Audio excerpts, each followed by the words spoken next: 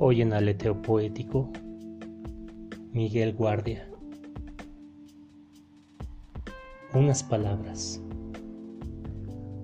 Para los desterrados que buscan en paisajes desconocidos la presencia de un recuerdo, a los reyes que habitaron entre joyas y mármoles y pieles, y a quienes solo resta una camisa para toda la vida, a los grandes hombres de existencia amarga y solitaria, para los desertores a cuya puerta habrán de oírse tarde o temprano los ladridos de los perros de casa, a los ebrios que se derrumban en mitad de una calle, bajo el polvo y las moscas y el calor del mediodía, para los viajeros cuyo cansado corazón se vuelve siempre hacia una hiedra lejana y un rostro de mujer esperando, a quienes han tenido que soportar una compañía que nunca desearon en cárceles, en lechos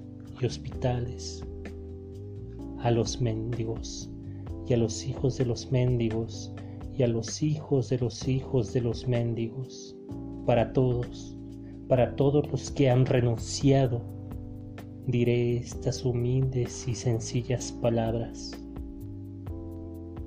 Hermanos, amigos, mis queridos amigos, que la muerte sea benigna para todos nosotros.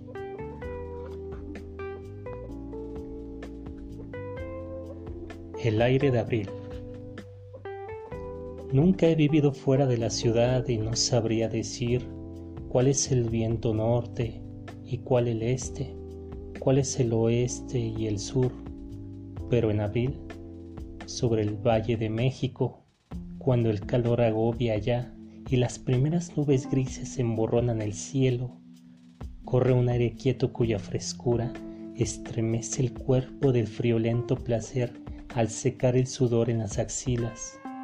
Es el mismo que agita, suave y tenazmente, las banderas que ondean en los edificios públicos y que llenan de patriotismo el pecho de los jóvenes, pero que a mí me recuerda gentes y paisajes que no conoceré.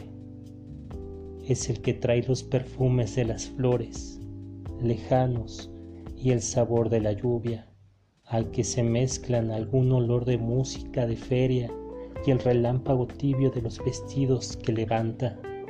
Sin duda el aire de abril sobre el Valle de México es alegre, pero es un aire triste y entristece. No hay engaño.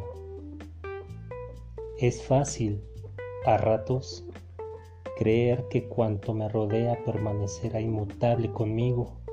Seres, cosas, pequeños hechos cotidianos sobre los que he levantado la certeza de estar viviendo y todo llega a ser entonces tan hermoso. Pero la verdad se desliza traidoramente como un soplo de aire frío bajo las ropas, pero la verdad es que el tiempo me derrumba y que se hace imposible cualquier engaño.